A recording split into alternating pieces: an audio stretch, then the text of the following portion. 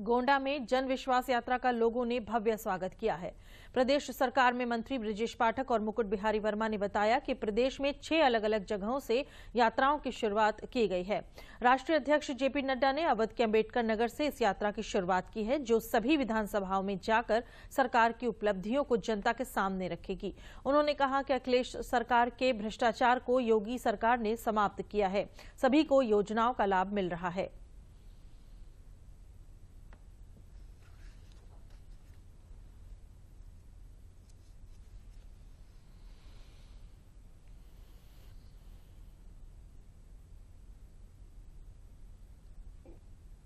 दावे के साथ कह सकते हैं कि भारतीय जनता पार्टी की सरकार 325 से अधिक सीटें लेकर दोबारा बनेगी और उत्तर प्रदेश में जो जंगल राज कायम किया था, अखिलेश यादव की और उनके पारिवारिक टीम ने पूरी तरह से आदरणीय योगी आदित्यनाथ जी ने उनको ध्वस्त कर दिया है और उत्तर प्रदेश के लोग चाहते हैं कि उत्तर प्रदेश में कानून का राज स्थापित रहे।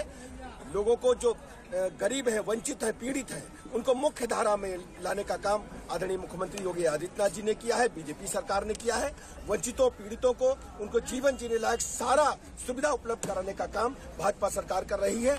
इसलिए उत्तर प्रदेश के लोग चाहते हैं कि दोबारा भारतीय जनता पार्टी की सरकार भारी बहुमत के साथ